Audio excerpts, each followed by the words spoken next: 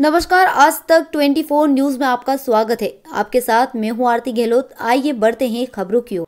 खबर है धार ज़िले की कुक्सी से, जहाँ पर ग्लोबल वार्मिंग समस्याओं को देखते हुए जैस युवाओं द्वारा कुक्सी क्षेत्र में इक्यावन पौधों का वितरण एवं कोरोना वायरस इस भीषण महामारी को देखते हुए मास्क वितरण एवं जयस के झंडे वितरण किए गए हैं एवं गमछे वितरण किए गए हैं। विश्व आदिवासी दिवस के उपलक्ष्य में हर ग्राम में विश्व आदिवासी दिवस की उत्साह है। आज युवाओं द्वारा इक्यावन पौधे वितरण किए गए। उसमें उपस्थित जयस प्रदेश अध्यक्ष अंतिम मुजालदा जयस प्रदेश महासचिव गेंदालाल रणदा पीयूष कन्नौज, रमेश मंडलोई बसंत कन्नौज, देवेंद्र सिंह मंडलोई, खंडलाई जागीर, दिलीप जामोद, सौरभ पटेल, कमल बामनियान, नारायण अलावा लोकेश अलावा राहुल सोलंकी, प्रदीप करोटी।